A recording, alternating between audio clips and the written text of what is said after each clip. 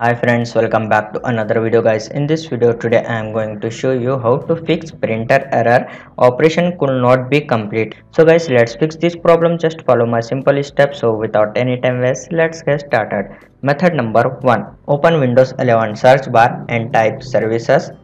Click to open services and find out print spooler. Okay you can see here print spooler is showing. Just select this option and right click.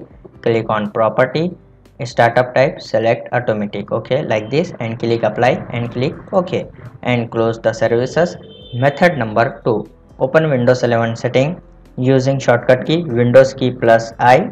Windows 11 setting is open like this and scroll down click on troubleshoot and click on other troubleshooter and find out printer okay you can see here click on run detecting problems. Please wait until the process is completed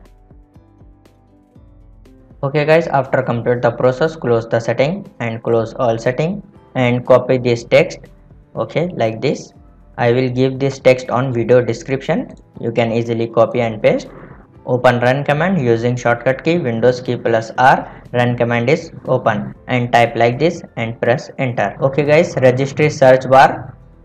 Type like this and paste this text and press enter. Okay you can see here windows folder is showing. Just select this folder and right click click on permission and select the desktop name like this and check this box full control and click apply and click ok. And close this window and restart your pc or laptop. Problem is solved. So guys this is way to easily solve printer error in windows 10 or windows 11 thanks for watching my video. Please don't forget to like share and subscribe my channel and press bell on notification see you next video